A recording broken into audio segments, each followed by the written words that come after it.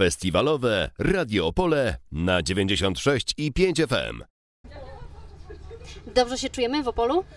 E, To też już zdążyłem Ci powiedzieć przed wejściem na antenę, że z upływem czasu e, to wszystko mm, bardziej jakby tak mm, zawodowo przebiega. To znaczy te pierwsze tu pobyty jeszcze z zespołem Atmosfer w 90 bodajże 8 roku, to już jest prehistoria.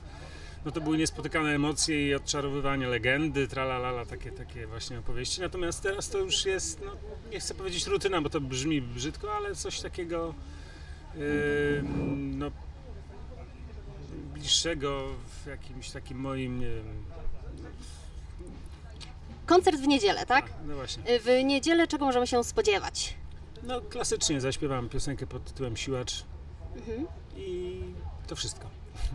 Jakieś specjalne przygotowania przed niedzielnym koncertem? To znaczy to jest taka pieśń, którą śpiewam chyba nawet przez sen, więc w zasadzie nie, nie mam jakichś, jakichś większych potrzeb, żeby się przygotowywać zasadniczo. Yy, Także chodziło tylko o to, żeby odświeżyć w głowie to, co tam gdzieś kiedyś się działo. No, bo to 30 przebój lat. sprzed- No właśnie. No może 30 to nie, ale naprawdę czas ucieka jak tak zwana dzika świnia, także to już prawie 20.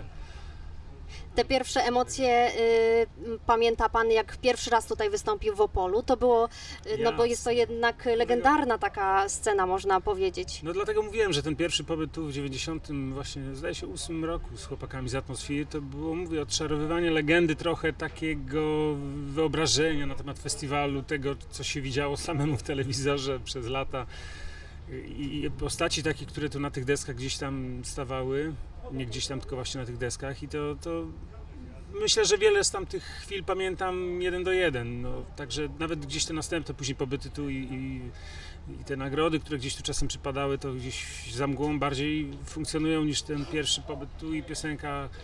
Podczas wykonywania której, tak nawiasem mówiąc, wszystko się popsuło na scenie, ale to jakoś daliśmy radę. No, emocje ogromne. Ale to są najpiękniejsze takie anegdotki, może, które można wspominać po, po Do, do latach. dziś chyba na YouTube gdzieś można znaleźć rękę naszego akordonisty, któremu dłoń drży, no prawie jak przy, podczas erupcji wulkanu. Aż takie emocje były podczas tak, tego tak. występu. No to między innymi z tego względu, że coś tam się właśnie zepsuło na, na, na backstage'u i trzeba było szybko ratować sytuację, ale jakoś się udało. W niedzielę takich atrakcji nie No planujemy. mam nadzieję. Zawodowcy. Festi- y, taki okres festiwalowy dopiero się rozpoczyna. Y, Gdzie kolejne koncerty? Gdzie można usłyszeć i posłuchać? To może nic ciekawego nie powiem w tej kwestii, że to jakaś taka jest bardziej niespodzianka niż moja mm, zaplanowana na dłuższą metę aktywność, która ma się wydarzyć już za chwilę. Także to taki rodzaj wyskoku jednorazowy bym powiedział nawet, może.